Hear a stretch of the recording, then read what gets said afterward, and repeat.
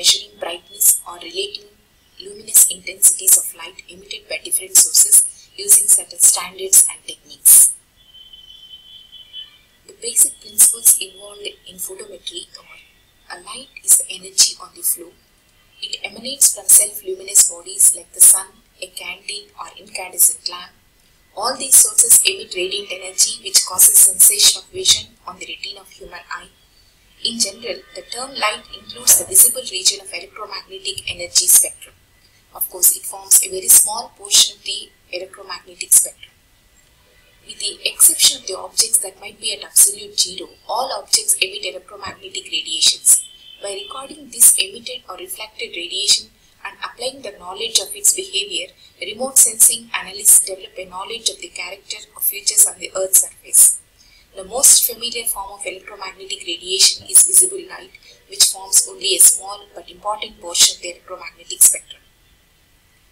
Let's have a look at the major divisions of the electromagnetic spectrum.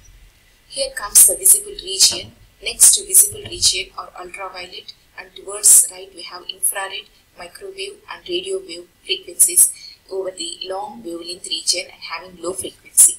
Towards the left uh, of shorter wavelength region and higher frequency we have X-rays and gamma rays. Here the visible region ranges from 0.5 to 0.7 microwaves whereas the UV region from 0.3 to 0.38 microns, X-rays 0.03 to 300 nanometers and gamma rays less than 3.03 nanometers. Coming to infrared region, it ranges between 0.7 microns to 1 nanometer, microwave region ranges between 1 millimeter to 30 centimeters and radio wave frequencies greater than 30 centimeters. Of course, the limits of visible spectrum are defined by the sensitivity of the human visible system. Optical properties of visible radiation were first investigated by Newton during 1665 and 66.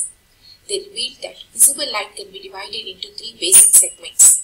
Today we know these segments as additive primitives.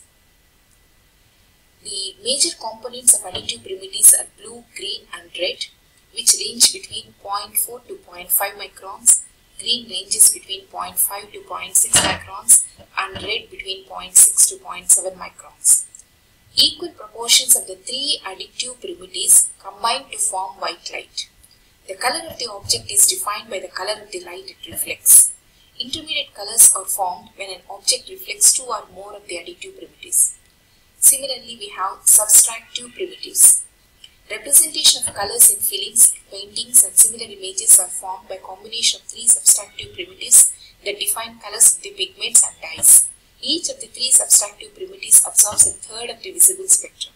They are yellow, cyan and magenta.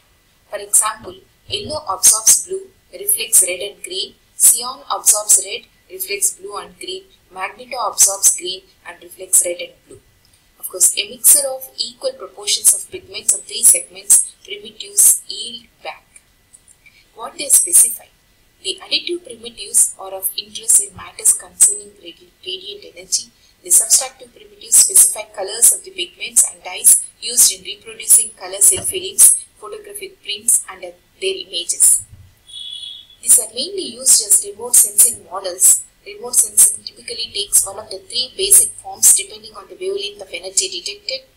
The simplest is to record the reflection of solar radiation from Earth's surface. A second strategy is to record radiation emitted rather from reflected from the Earth's surface. A third class of remote sensing instruments generate their own energy and then records the reflection of that energy from the Earth's surface.